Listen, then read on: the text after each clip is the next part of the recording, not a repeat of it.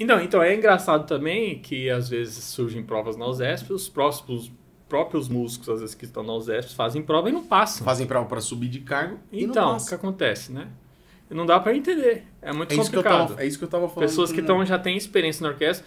Inclusive, é uma.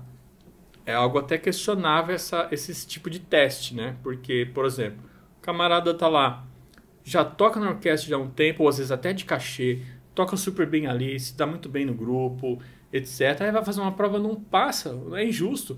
Que análise, você, julga a pessoa às vezes em cinco minutos, às vezes o cara toca um minuto e já descarta o cara em vez de analisar a convivência dele ali no grupo, né? O, todo o período que ele passou ali. Então eu acho muito injusto isso, né? Ah, e o teste de orquestra É. é injusto. É, eu Porque acho- ele é um teste que quer ver você tocando um concerto, um capricho de Paganini, um não sei o que, um não sei o que lá.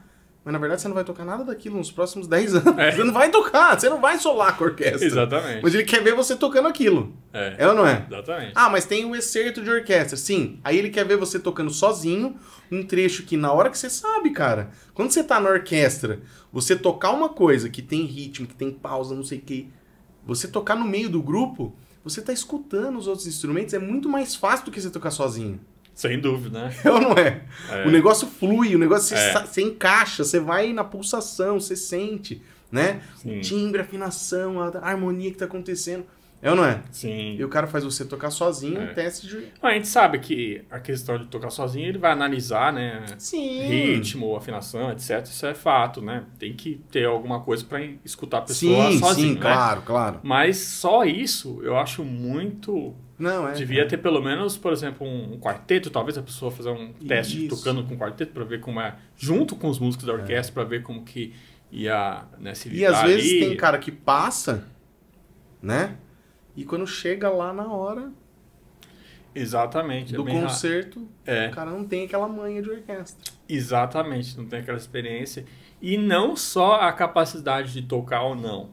Às vezes a pessoa, o convívio entre outras pessoas. Porque É. você tá numa orquestra, você tem que ter uma boa relação com as pessoas, senão Sim. fi- fica aquele ambiente tóxico. Já Putz. pensou você, orquestra, que saco aquele cara, ou que saco.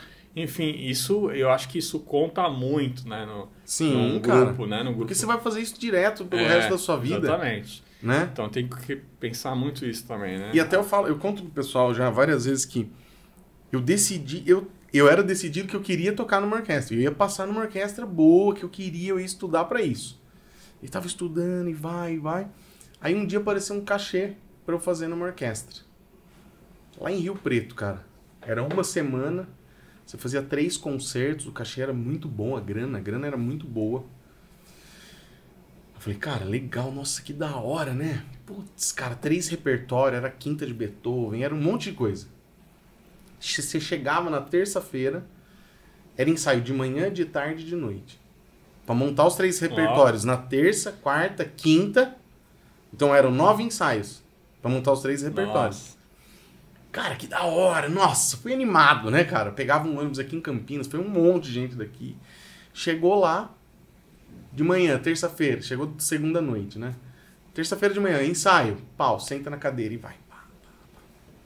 Sai, vai almoçar, à tarde, volta. De noite, vai, volta.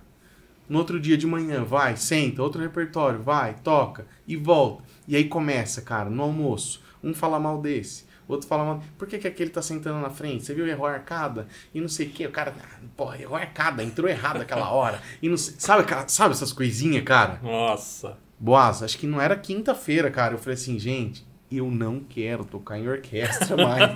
não quero, cara, eu não quero. Eu não quero viver isso daqui os próximos 10, 20, 30 anos da minha É. vida. É triste. Não quero. Isso aí acho que foi em 2011 ou 12, talvez. É, Foi lá atrás. é muito triste, né? Não, pulei fora, cara. É triste e Todo pe- dia você sentar na mesma cadeira e ficar escutando aquela ladainha, aquele negocinho, e, e toca, e vai, vai embora, estuda de novo em casa e volta. Eu falei, não, não, não, não, não. Não quero.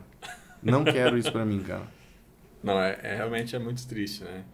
É, as pessoas leigas, o público não tem, às vezes, muita noção, né? Do Não, que, não tem nenhuma noção. é, do que, que acontece nos bastidores. Não, né? o público Porque não tem só noção vê o resultado nenhuma. ali e acha que foi é tudo lindo, maravilhoso. Nossa, que lindo, maravilhoso.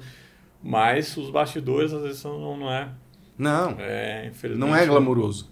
É, As não- pessoas acham que é glamuroso, que todo mundo é amiguinho, que todo... mas não é, É. assim, cara. Desculpa.